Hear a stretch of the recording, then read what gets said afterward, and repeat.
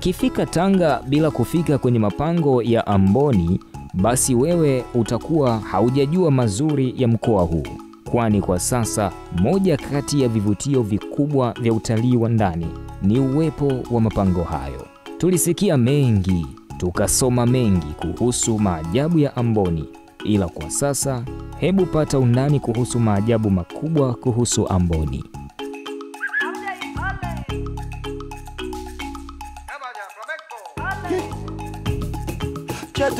Chetu. Chetu cha Tanzania yetu we. Na tutunze vya kwetu. Watanzania ya leo na ya kesho, hifadhi la taifa, majengo ya historia, historia makabila asili ya Mtanzania yeah. ah, ah, ah. chetu ni chetu chetu ni chetu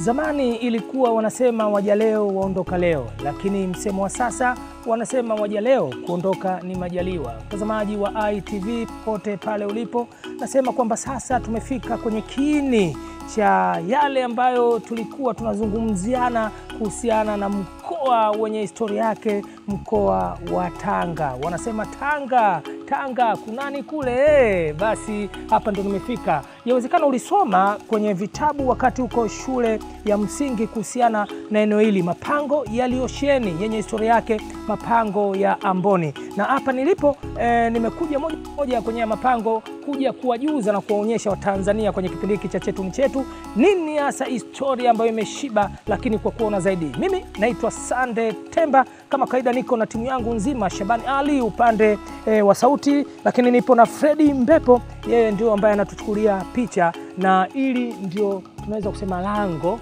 e, ni maajabu ya Mwenyezi Mungu mtazamaji, lakini yawezekana tunahitaji kuona mengi, tuna kiu. E bwana, rafiki yangu, hebu njoo kwanza. Huyu e, nayemwita mtazamaji ni Gadi eh, ama msindikizaji wageni mwenye historia. Ni bwana mdogo e, lakini ana vitu vingi. Nadhani pia vijana tutajifunza e, kupitia kwa kijana mwenzetu e, yawezekana anajua mengi kuhusiana na historia ya hapa kwenye mapango ya Amboni. E bwana, mimi naitwa Sande Mimi naitwa Muhsin Rajab. Muhsin Rajab, Mambo vipi bwana? E bwana, chetu ni chetu, imepiga hodi Tanga e, na nilipokuja niliogopa mimi mwenyewe kuingia mundani kwa sababu ya mazingira na hali halisi. Hebu tuambie eh, hapa tuko kwenye mapango ya Amboni. Watanzania wangependa kujua moja, eh, jina la Amboni limetokana na nini? Neno Amboni limetokana na mama mmoja ambaye kwa mama Amboni Mm. ambaye mama huyu ni mama mmoja ambaye anaishi kijijini hapo juu, na ni mama ambaye alikuwa na eneo kubwa au tunaweza kusema na shamba kubwa, lakini kwa kipindi hicho kulikuwa kuna kile kipindi ambacho Uingereza walikuwa wako maeneo wao wamezunguka katika eneo kubwa la Tanganyika na walihitaji kuchukua eneo la ule mama kwa ajili ya kuwekeza, na walikuwa pale washida wao waweze kuwekeza, na walichukua pale kwa ajili ya kuweka kiwanda ambacho kilikuwa kinasemekana eh, kilikuwa kinaitwa Amboni Limited ambao kwa wamesikana na plastiki, lakini neno Amboni sasa limekuja wale wa, watu ambao chukua eneo lile wahitaji mama yule au ndio mtu ambaye anakuwa msimamizi wa pale lakini sasa walishindwa kutranslate neno Mboni wakaita mama Amboni. Kwa tokea pale neno Amboni likashika ko likasambaa kutokana na kile kiwanda ambao kilitengenezwa pale ambao kinatambulika kwa neno Amboni, lakini kubwa au neno hilo limetokana neno Mboni. Mama mwenyewe kwa anaitwa Mboni. Mama yeye ndio alikuwa mwanae ndio alikuwa anaitwa Mboni. Hapo Yeah. mama Mboni. Mama Mboni. Hapo mama Mboni, mama Mboni. Eh, Ah, kwa neno hilo Sasa likahusishwa vipi na ilipango? Kwa sababu umesema kiwanda na eneo, Ilipango limeingiliana vipi na hilo Amboni, Amboni, Amboni? Jina limehusishwa na eneo kulingana ni eneo. Sasa hii sehemu ikapata jina au kwenye eneo lote la Amboni likapata jina, lakini mapango haya yapo Kiomoni. E, inapatikana kwenye kijiji ambacho kinaitwa Kiomoni ambayo ndio iko hapa, lakini chanzo kikubwa cha neno Amboni ni huyo mama ambaye tu mama Amboni. Kilomita takribani tisa kutoka Tanga mjini mpaka kufikia kwenye eneo hili lenye historia yake. Mtazamaji, naamini kabisa mpaka tukitoka humu ndani e, tutajua mengi kutoka kwa rafiki yetu hapa e, ambaye yeye tunaweza kumuita mtembezi ambaye anatupitisha kuna moja baada ya nyingine. Tuko Tanga na hatutaondoka Tanga mpaka tujue vyote vilivyojificha kuhusu Tanga, makabila e, asili ya neno Tanga, lakini pia hata unapokwenda sui Mweza, sui Korogwe, watu nataka tujue vyote, vyakula vyao, utamaduni, jando, nyago na vile vitu ambavyo tunasema vimebeba roho ya, ya mkoa wa Tanga katika masuala ya utalii wa ndani, ambapo naamini kabisa Watanzania wengi hata unaangalia, inawezekana hujawahi kufika hapa Amboni, lakini mimi nimefika na chetu ni chetu. Tutaenda ndani Kwa Hebu tuambie sasa, hapa kwenye eneo hili la mapango ya Amboni kuna nini na nini na nini, kabla ya kwenda ndani kuona Kwenye lote la Amboni tunao vivutio vingi ambavyo vinapatikana hapa, kwa vivutio vya nje, lakini pia tunao vivutio vya ndani. Tukianzia kwa vivutio vya nje ambavyo vinapatikana, tunao wanyama kama mbega, kima na tumbili pia ambao wanapatikana, lakini pia hata ukiangalia mazingira yenye ni kivutio tosha, kwa sababu mazingira yetu ni green kama inavyoonekana. Kwa hiyo ni sehemu moja hapo ambayo inavutia mtu hata usipoingia ndani ya mapango haya kwa hiyo unaenjoy na unafurahia mazingira, lakini pia kwenye mto wetu ambao unakatisha hapo tunao mamba. Kwa hiyo pia tunao kivutio kingine mtoni hapo. Eh, tunao mamba mtoni. Eh, na hawana madhara kwa watu, hawana madhara. Kwa wanaonekana. Wanaonekana eh, Mtazamaji ushangae, sisi tutakwenda kwenye bwawa lile ama kwenye ule mto e, wenye mamba e, tukashuhudie yote haya. Ni chetu ni chetu, huwezi kupata kwingine ndani. Sasa huko ambapo mimi nimeingia kidogo nikatoka, maana nilikuwa naogopa kutokana na hali halisi huko ndani, lakini nimeshangaa kitu kimoja. Kabla hujasema vya ndani, mbona kuna ubaridi mkali sana, utafikiri kuna huko? ni kweli. Na hali hiyo baridi inatokana na eneo la juu la mapango imezungukwa na msitu. Kwa hiyo ni sehemu ambayo hakuwezi kuingia jua likaweza kupelekea kupata joto ndani, kwa sababu juu ya mapango kuna msitu mdogo kama unavyojionea kwa nje, unapata kuona msitu na ndio sababu kubwa ambayo inapelekea mapango yetu yawe na hali ya baridi. Kuna njia ngapi za kuingia? Tunataka tuende sasa. Tunao njia mbili mm. za kuingilia, lakini pia tunao njia nyingine ya tatu ambayo ya kutokea. mm. Eh, tutaingilia na kutokea. tutaingia njia moja, lakini tutatokea na njia nyingine. Basi mtazamaji, eh, wanasema samaki ana mengi ya kuongea, tatizo maji mdomoni. Naamini mna kiu ya kutaka kuona sasa humu ndani kuna nini, yale ambayo mmeyasoma eh, kwenye vitabu vya eh, wanagenzi wetu eh, wakati uko shule ya msingi, lakini pia eh, kama ulipitia historia ya mapango haya ya mboni eh, basi sasa tunakwenda ndani Eh, bwana Afidhi Muksini, Muhsini, Muhsini anatupeka ndani ili tuone kuna nini. Njia ipi tunapitia sasa? Tunaanzia hii hapa hii. Haya bwana, twende bwana Muhsini.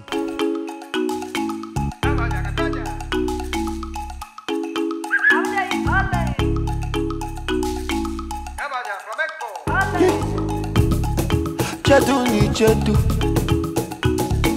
Hii ndio njia. Hii ndio njia yetu ya kuingilia kwenye pango letu kubwa. Mbona kanjia kadogo namna hii? Hiyo ndio njia kuingilia kwenye Hii ndio njia yetu ya kuingilia kwenye pango letu kubwa. Twende, twende. chetu ni chetu chetu cha Tanzania yetu we na tutunze vya kwetu Hii ndio tunaingia kwenye kubwa, ambao pango hili wenyeji walipenda kuliita pango la mzimu wa mabavu. Pango la? Mzimu wa mabavu. Ukimaanisha nini? ni sehemu ambayo inapatikana kituo chetu cha kwanza hapa, ambao ndio hiki hapa ambao tunakiona mbele yetu, ambao kituo hiki tunakiita kituo cha mzimu wa mabavu, na sehemu hii ilianza kutumika au ilianza kutumiwa tokea karne ya 16 na wenyeji wa Tanga ambao watumia sehemu hii kwa ajili ya kuja kufanya maombi au kuja kufanya matambiko, wakiwa naamini kwamba kama mtu ana shida au mtu ana tatizo, basi akija sehemu hapa akiomba shida yake, tatizo lake itakuwa imetatuliwa lakini baada ya mtu kufanya maombi yake na kumaliza, huwa anacha sadaka eneo hili. E, wengine wanacha mafuta kama mnavyoona kwenye chupa hapo, lakini kuna wengine wanakuja chinja kuku mbuzi, na wengine wanaacha tele, wengine wanaacha vyakula, wakiwa naamini kitu unachoacha kama sadaka inampelekea dua yake iweze kukubalika haraka. Sasa mfano unaacha kuku hapa eh, anapoteaje? Yani kuna mtu atakuja atachukua na kula ama anapotea mwenyewe kutokana na imani za kimatambiko ama vipi? Uh, kwa kuku sio kama anapotea hapo, kwa anachofanya anachinja na acha damu, lakini kwa mnyama ambaye anamchinja huwa anamtoa kwa ajili ya kuepusha asije kaoza harufu. Kwa kwa mtu ambaye amechinja labda kama akachinja mbuzi, mtu mwingine anaweza akaamua kutoka nje kwa watu ambao wanapita njia, anaweza akawapa zile nyama kama sadaka kwa hela, kwa mtu ambaye anafanya Nipige dua langu hapa sasa hivi, nipige dua sasa. Napiga hesabu, nikiacha noti ya shilingi elfu kumi hapa itachukuliwa na mzimu. Kuna utaratibu wote, nisije nika nika nikakiuka masharti. Kuna utaratibu wa kupiga goti, kuvua viatu, ama kusema tu dua langu Ah, mna ni dua yako tu dua langu. eh. Lakini sasa nikiacha hela inakuwa Kwa hizo hela, kusema kweli, hela haiwezi kuchukuliwa na mzimu. Kwa kwa wenyeji wa hapa, mtu kama mtu ambaye anaweza akafanya usafi eneo la kipita, ndo anaweza akachukua akikuta, lakini mzimu hawezi akachukua kitu, kwa sababu kwanza mzimu ni kitu ambacho hakionekani. mafuta. Hayo ni mafuta ambayo watu wameleta kama manukato hayo. Mm.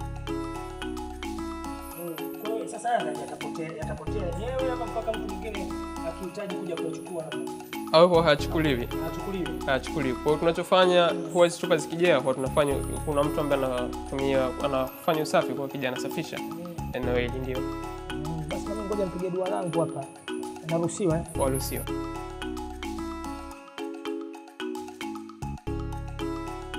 Labda kitu kingine ambacho tungependa kujua pia hii miamba hii imetengenezwa na nini?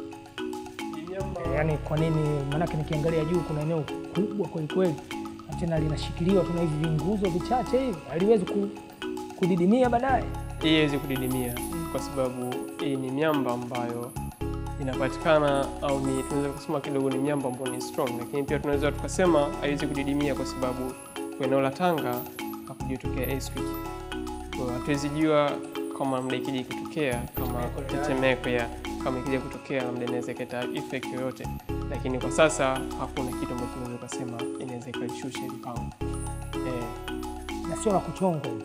Yaani ninachotaka kujua kwamba hizi njia hizi zimeibuka vipi, zimetokea vipi? Haya mapango ni mapango ambayo yametokana chini ya, ya mapango ambayo yametokea chini ya maji ambayo takriban miaka 150 milioni iliyopita ambao ni kipindi cha Jurassic. Na kipindi hicho ambapo maji yalikuwepo, basi maji yalikuwa yanapelekea kuchonga sehemu za miamba ambazo zilikuwa dhaifu, na yale mawimbi ya maji basi yakipiga zile sehemu ambazo ni dhaifu yanapelekea yani maji ya bahari. maji ya bahari ya. Kwa hiyo sasa maji yalikuwa yanapiga zile sehemu ambazo ni dhaifu ndio yanachonga, lakini pia kuna asidi ambayo ilipelekea kunegua hii miamba, kwa sababu hii miamba ni miamba inachokaa ambayo ni mwamba yetu ni sedimentary rock, na mwamba sediment huwa una mlundikano wa madini ya calcium carbonate, na kipindi ambacho maji yalikuwepo, basi maji yalikuwa kuchanganyikana hewa ya carbon dioxide inatengeneza carbonic acid lakini pia ile carbonic acid basi ikichanganyikana yale madini ambayo ni calcium carbonate. Unapata zamu calcium bicarbonate. Tu- Tutaendelea. Mtazamaji, yawezekana maneno anayozungumza ni ya kitaalamu kidogo kwa wale wachambuzi wa mambo ya sayansi eh, madini na vitu kama hivyo.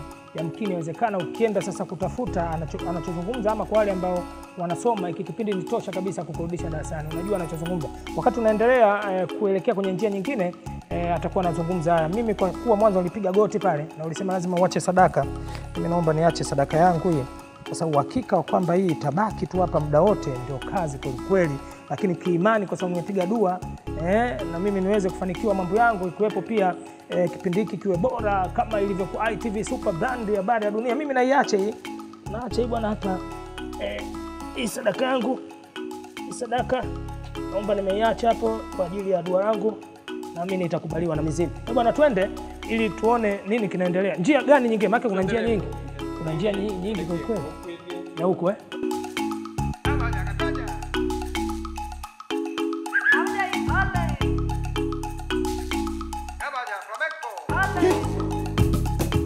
Chetu ni chetu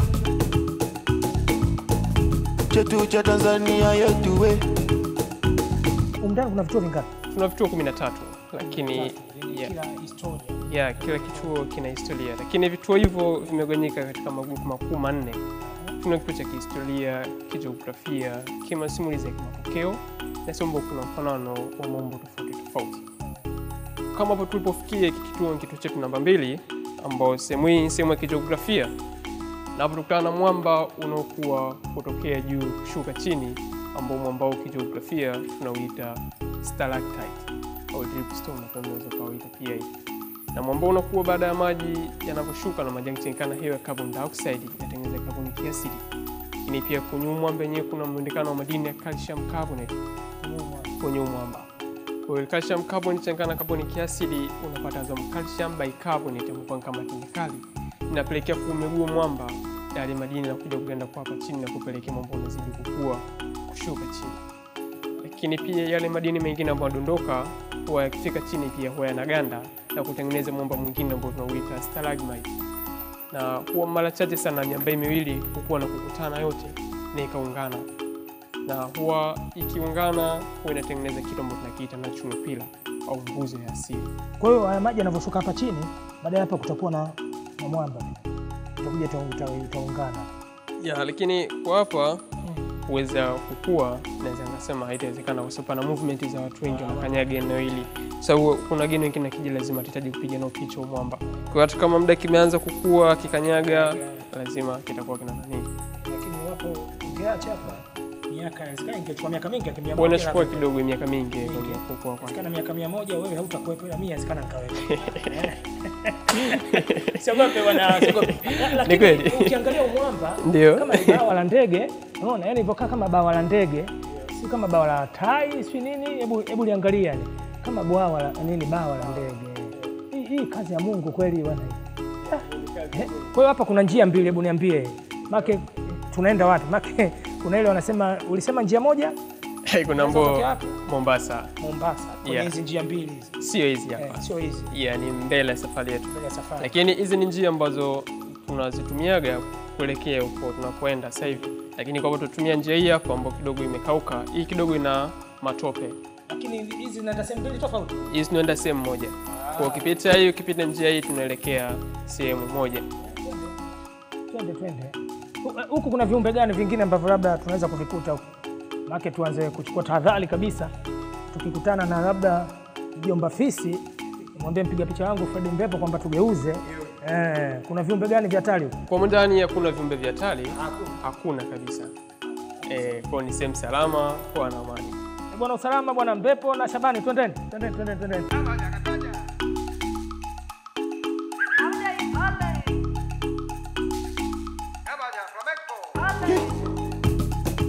Chetu ni chetu.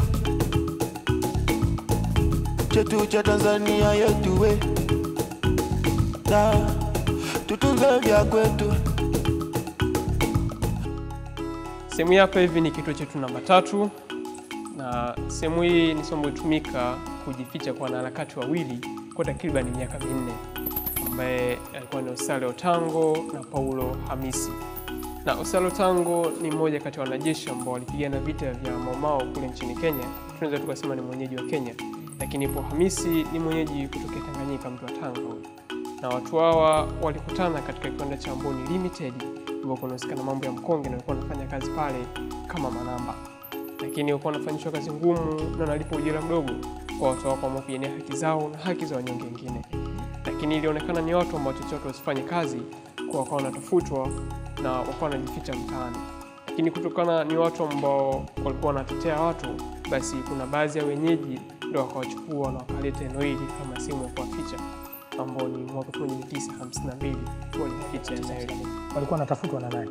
Ni watu ambao wanatafutwa na wakoloni Wachochezi. kwa sababu ni wachochezi ambao wanachochea watu wasifanye kazi, Kumbe wanadai haki zao. wanadai haki zao. Kwao ni watu ambao wanadai haki za Watanganyika, tunaweza tukasema hivyo kwa kipindi hicho. Kwa hiyo hiki ndio chumba ambacho walikuwa wanajificha. Hiki ndio chumba ambacho walijificha, lakini pia walivyokuwa wanajificha eneo hili, basi walikuwa wanajihusisha na kupola mali au kupola fedha za wakoloni ili kuwafanya kukata tamaa kuishi nchini mwetu. Lakini pia watu wako wanatumia dawa za kienyeji, ambao dawa hizo sio zinapelekea kuwabumbaisha watu ambao wanatafuta siweze kuwaona, na masharti ya dawa zile huko utakutembea na mwanamke mbesi wako wako kimwili eh. Lakini mnamo 1956 watu walipata kugundulika sehemu hii na kuamua kutoka na kukimbilia Lushoto hii kwenye kinaitwa Mtii Mtai na kujificha kule. Lakini kwa kule Lushoto watu walikamatwa na wakapigwa risasi na wakafia wote kule, baada ya Paulo Hamisi kuvunja masharti ya dawa zile kwa kumbaka mwanamke mmoja kizungu na kupelekea kuonekana kwa kupigwa risasi na wote. Eh, na kwa hapo ndani pia tunaweza tukaingia, ni sehemu ambao kuna mfanano kama nyumba ya msonge hapa ndani eh. Eh, bwana kweli. Basi hapo ndio ilikuwa ndio sehemu ambayo watu wawili walijificha kwa takriban miaka minne walijificha hapa. Eh, Hii- hii haijachongwa hii na mtu. Ukiangalia sehemu ya juu unapata kuna taswira kama nyumba ya msonge Mm. eneo la juu. Ah. Unaona? eh? Kwa hiyo walikuwa wanaletewa chakula humu na nini? Walikuwa wanatoka kote usiku kwenda kutafuta chakula na wanarudi eneo hili wanajificha. Lakini pia unaweza kujiuliza ulikuwa unakaa vipi na mdeno hili. Eh. walikuwa wametengeneza kijichanja sehemu hii hapa kati ambapo tunaona kuna vijishimo hivi humu, kuna vijishimo vimezunguka eneo hili mpaka sehemu ya kati pale. Kwa hata walikuwa wakisikia sauti za watu, basi walikuwa wanapanda juu ya kile kichanja wanakaa.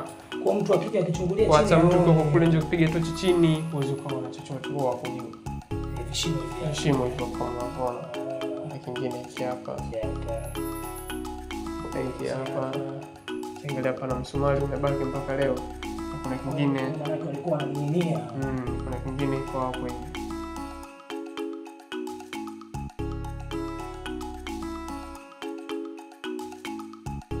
Unasema walivyotoka hapo walikimbilia walikimbilia Lushoto, Mhm. kijiji kimoja kinaitwa Mtii Mtai, ndo alimficha kule. na mashati walipewa mashati gani?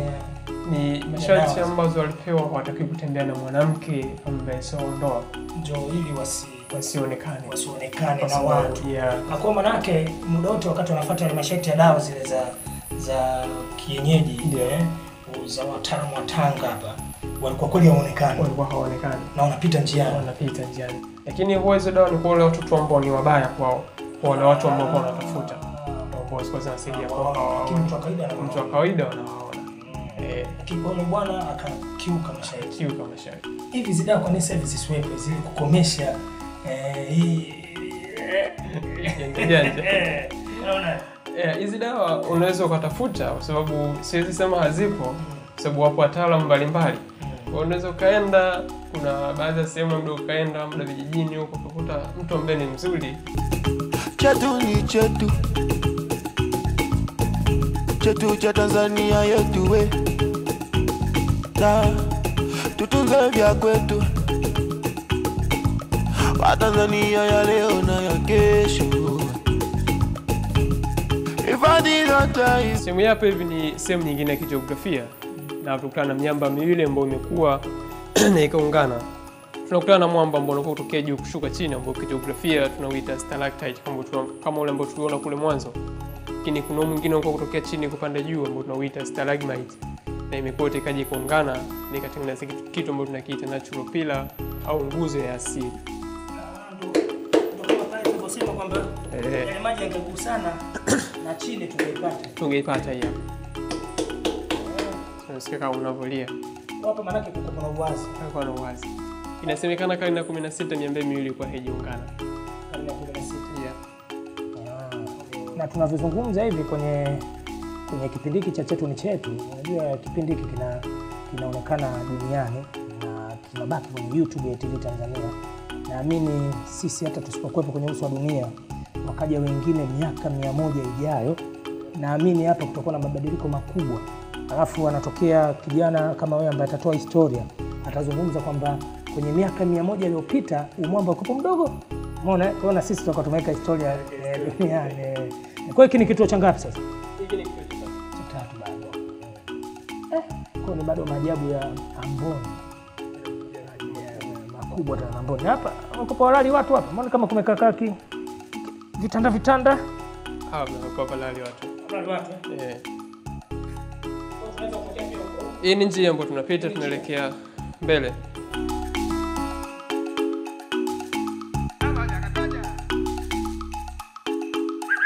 Kwa hiyo kwa miaka hiyo watu walikuwa wanaishi. Hapana, humu sio sehemu ambayo tulikuwa naishi, ni ila ni somo ambao watu wanatumia tu kwa ajili ya kufanyia maombi. Kwa walikuwa wanaamini eneo hili ni sehemu salama au sehemu takatifu kwa ajili ya kufanyia ibada, lakini kwa watu ambao wametumia kuishi ni watu ambao wamejificha tu ndani ya miaka minne eneo hili, ndio ambao walikaa ndani. Eh, tusimame kwa hapa hivi kidogo tuweze kuona kitu.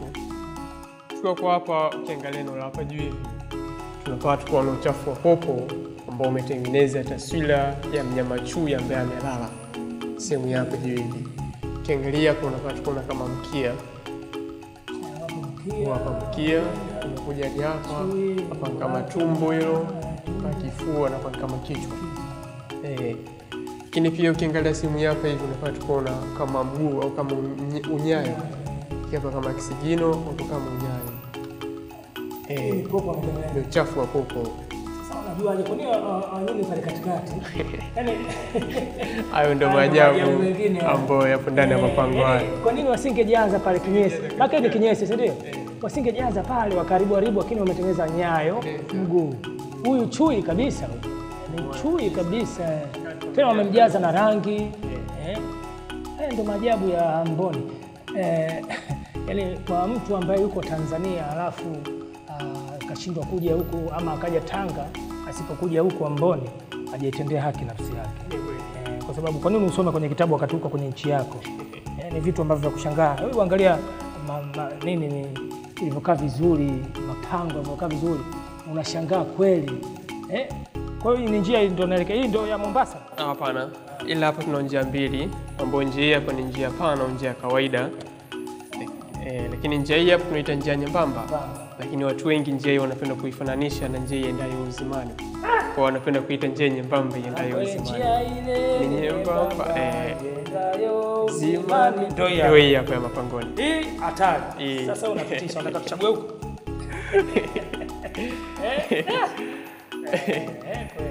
Ila, eh. Ndani ni kama mfumo wa nchi na barabara zake, kuna raundi about humu, Ni kweli.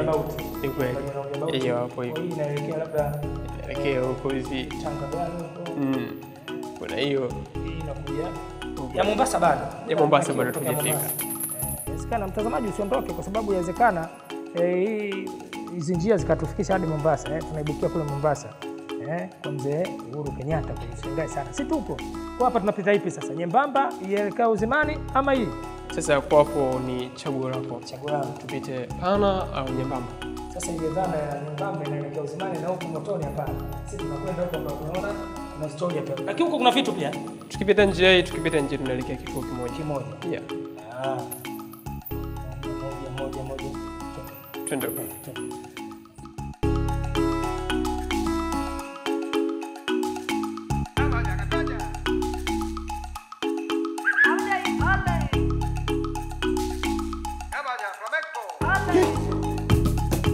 Chetu ni chetu. Hii ndio njia. Njia nyembamba chetu cha Tanzania yetu we. Na tutunze vya kwetu. Hii ni njia ambayo juu pale, eh, pale ndo mwisho wa njia hii. Lakini tukiwa kwa hapa na tukiangalia sehemu ya hapa juu hivi, unapata kuona taswira kama paja la kuku, inaona pale juu hivi kama paja la kuku, japo paja tunakula kwa macho tu, lakini ukiangalia sehemu ya chini hivi, inakuwa kuona kama kwato ya ng'ombe au kwato ya mnyama hapo hivi.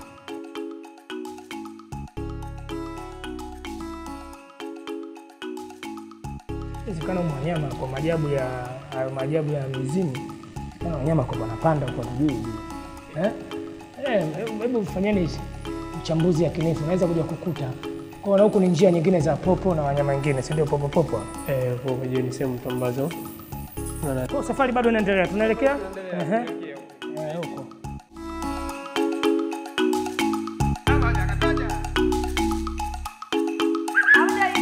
Sehemu yapo juu ni sehemu ya kimasimulizi, na hapa watukana na njia panda mbili. Kuna njia hapa mkono wa kushoto na njia hapa mkono wa kulia.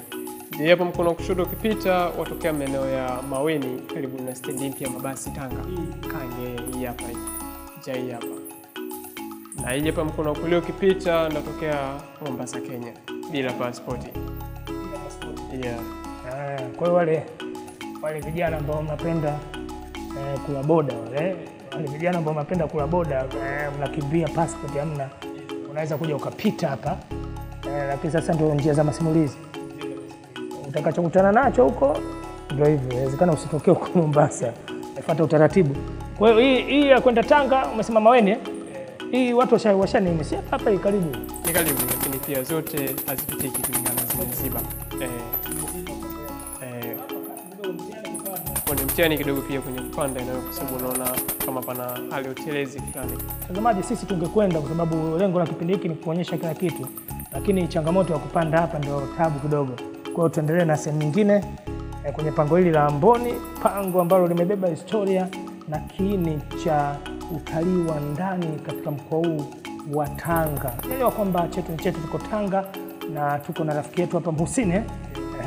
Huyu ni eh, sindikiza wale wageni na mtu ambaye amebeba historia kubwa eh, kuhusiana na pango hili. Hebu kijana, jiulize umri wa huyu bwana, tayari anajua historia kubwa ya pango hili eh, ni kutokana na kujishughulisha, lakini vijana wengi awezekana watanga hii wanakaa Tanga hii, lakini wasijue hata humu ndani eh, kwenye pango ambao liko kwenye mkoa wao kuna nini, kuna historia gani.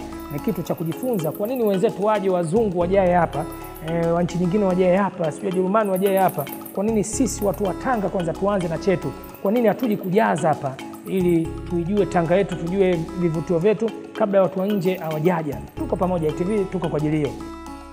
chetu cha Tanzania yetu we tutunze vya kwetu Basi tukiwa sehemu hii, ukiangalia eneo la hapa, kuanzia sehemu hapa hivi mpaka hapa chini, na ukiangalia eneo la hapa mpaka kule mwisho, unapata kuona kama boti ambayo imetia nanga na hii tumeiona? Lakini ukiangalia kwa juu kusa sana meli kubwa ambayo mzigo eneo hili imetia nanga sehemu hii, na meli tunapenda kuita Titanic ya Mboni. Kwa chini hapa ni kama boti, sehemu hapa hivi. Na kwa hapa mpaka kule hivi kama boti, lakini eneo la juu ndo meli yetu kubwa mwamba mzigo eneo hili, ndo Titanic yetu ya Mboni. Tunajivunia- kweli umetia nanga eneo. Ukiangalia ni kweli, umeona yani imekaa kabisa mfumo wa mfumo wa meli eh. Mtazamaji, kama unaangalia vizuri, ni mfumo kabisa wa meli. Hiki ndio kile kitako cha chini ambacho kimejikita eh, kwenye maji, lakini huku inakwenda eh, inakwenda hata huko juu ndo kuna mzigo. Kwa hiyo inaitwa Titanic ya Amboni, Amboni Titanic. Inawezekana wale jamaa waliotengeneza ile meli ya Titanic alichukulia huku ramani eh, kwa sababu ile ina miaka michache kuliko hii. Hii umesema toka mwaka gani imegunduliwa? Ni Hii ni, Mapango. ni takriban miaka 150 milioni iliyopita. miaka 150 milioni Iliyopita.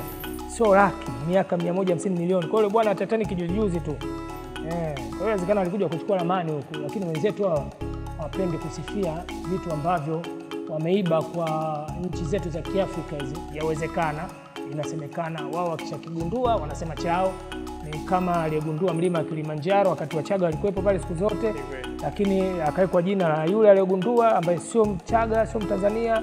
Eh, unashangaa sasa ziwa Victoria eh, ile ziwa liko pale pale, Wasukuma wapo kila siku, lakini kaja mtu tu asema hili ziwa Victoria, jina lake kaandika kwenye historia. Kwa nini asingepewa wale Wasukuma pale eh, au Wachaga pale Kilimanjaro? Kwa hiyo ndio vitu kama hivyo. Inawezekana Titanic huyu tutaanza kufanya uchunguzi, tudai tu. tudai eh, hii meli kabisa Titanic hii. ukiangalia eh.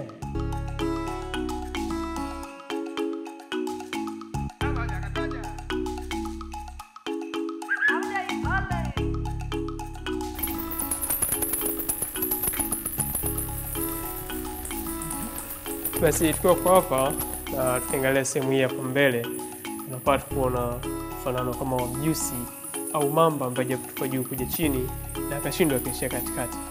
Sehemu hii hapa hivi kama sehemu ya kichwa, hapa hivi kama kiwiliwili au kama mgongo, na hapa kama mguu wake, lakini mkia bado haujatoka na tunaweza kusubiria uweze kutoka. Kama kichwa iko kiwiliwili kwa hapo, na mguu hapa juu yake uko hapa kwa juu hapo hivi eh, hivi mguu eh, manasa kwa hapo mm. Sehemu hapa hivi ni sombo tunapita msikitini, na tunapita msikitini kulingana na mwonekano wake jinsi palivyo, ni kama mbele msikitini pale kibla, lakini pia sehemu hii kunapatikana maandishi ya Qur'an, ndio maana tunapaita pia msikitini. Kwa hapa ni jina kama ile hapa hivi Allah hivi hapa, lakini pia kwa hapa chini kuna nini jingine ile Muhammad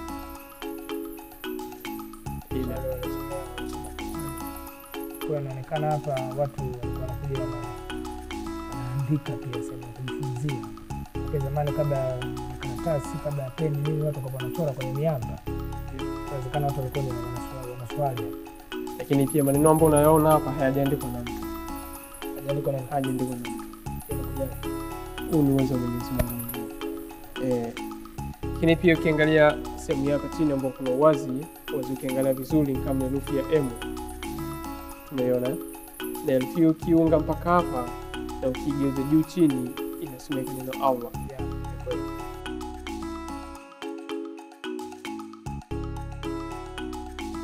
Ya pale juu ukiangalia unapata kuona kama bawa kama bawa la kuku bawa la ndege na pale juu.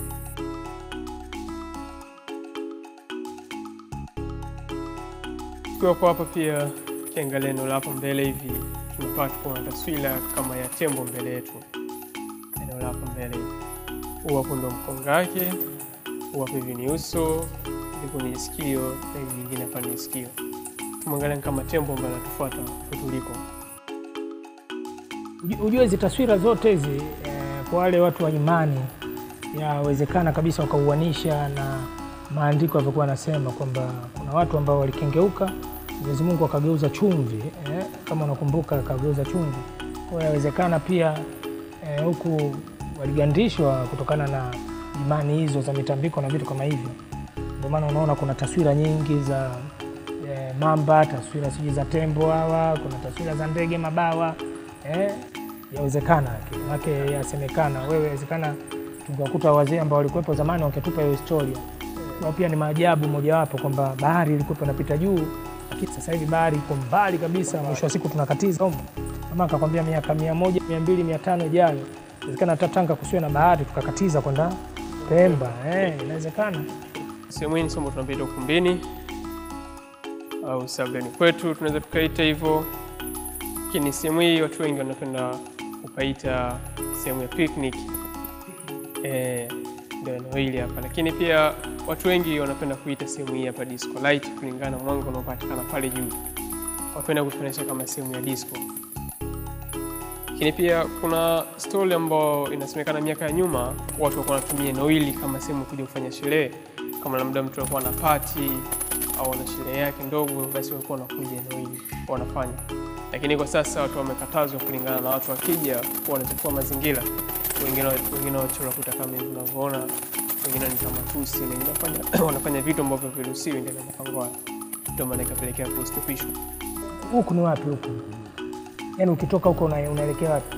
Ah, Kutoka kwa hapa unatokea tu kwa polini, kama unavyoona kuna miti pale pale, ni polini. Kwa ukipanda hapo unatokea pole, lakini sehemu ya pale juu ambayo unaiona na sababu tulianza tulianzia safari, ukisimama pale unachungulia kwa chini, kwa pale pako juu.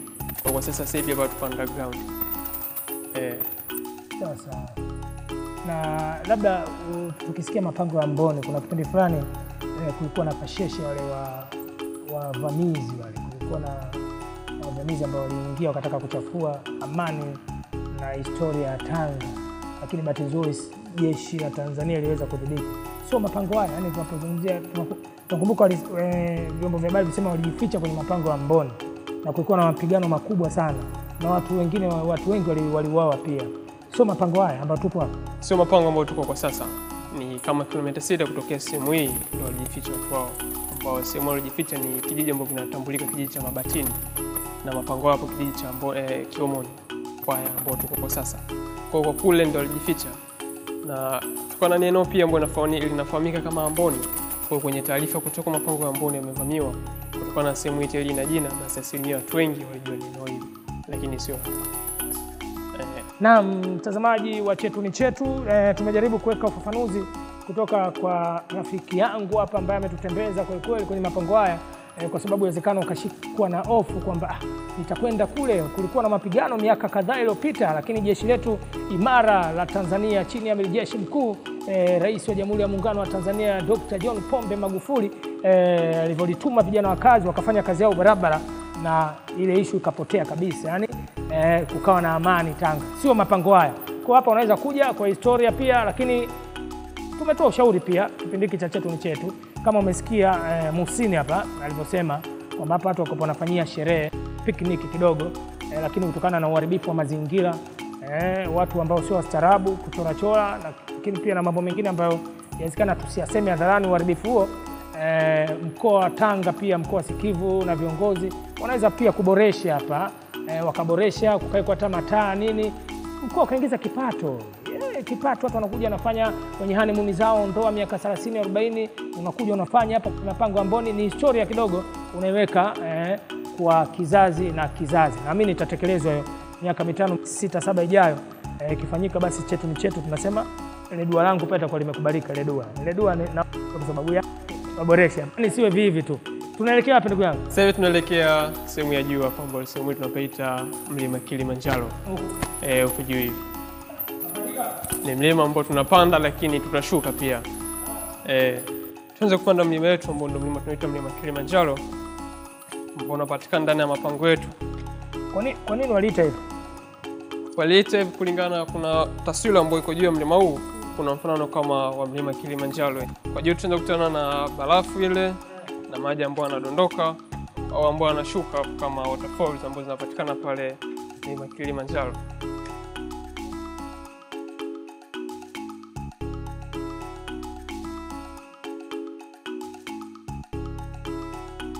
Tushafika kilele cha mlima wetu ambao ndio mlima wetu Kilimanjaro, na eneo tunaweza kusema ndio Uhuru Peak.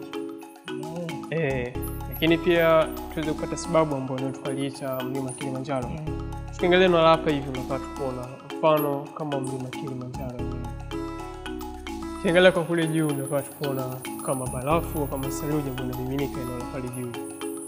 Lakini pia ukiangalia hata sehemu ya hapa pana maji yakuwa yanashuka kama waterfalls ambazo zinapatikana hapa. Eh, Hapa tulipo hapa ndo pale kileleni. Ah, Kwa hiyo picha. Kwa hiyo inawezekana tulipotoka kule chini wakati tunapanda ndo hapa eh. Tumepanda pale ndo hapa. ndio tuko hapa sasa hivi. Ehe. Lakini pia ukiangalia kuanzia simu ya pale hivi mpaka hapa kama tuko chini ya daraja eneo la hapa kama tuko chini ya daraja kwa kuwa imebeba roho ya Tanga, roho ya Tanga, na lengo la kipindi hiki pia ni kuitangaza eh, vivutio vya utalii vya ndani kwa Tanga hii. Mimi naamini kabisa yawezekana kwa miaka eh, miwili mitatu ijayo tunataka tukute rundo hapa la watu wa Tanzania hasa. Sisi hatupromoti sana wageni, lakini waje, lakini wa Tanzania ili tujue kwamba umuhimu wa haya mapango. Sababu huwezi kuwa na kitu kama hiki alafu mkoa unalalamika hauna fedha. Eh, nchi ze- wenzetu hizo zina vitu vidogo tu, kitu kimoja tu kinaingiza fedha kwa watu kujaa. Kabla tujashuka ukiendelea tujaendelea na kituo chetu, ukiangalia simu pale hivi unapata na ule mnara ambao unapatikana pale Marekani kule New York City, ile Statue of Liberty. Huu hapa hivi, wengi wanapenda kuita Columbian Tower. Jamaa ambaye ameshika ameshika nani juu ile ili kule juu kitu kwa pale ndani kwa hiyo imejichonga yenyewe. yenyewe haijatengenezwa na mtu.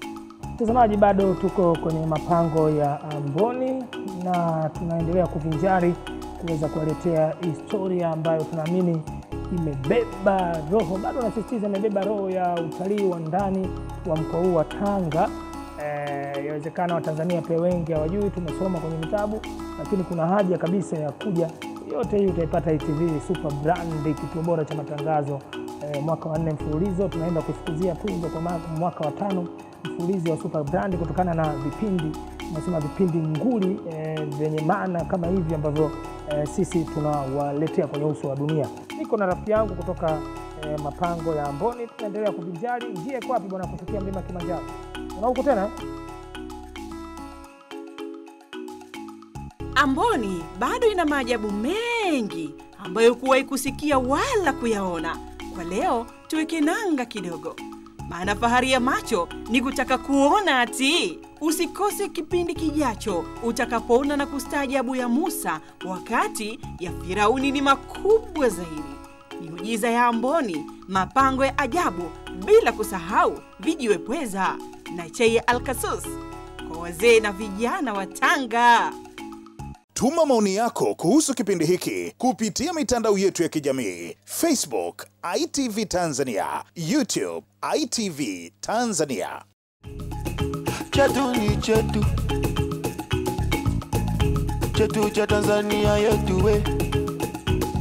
Na tutunze vya kwetu. Watanzania ya leo na ya kesho, hifadhi za taifa, majengo historia, historia makabila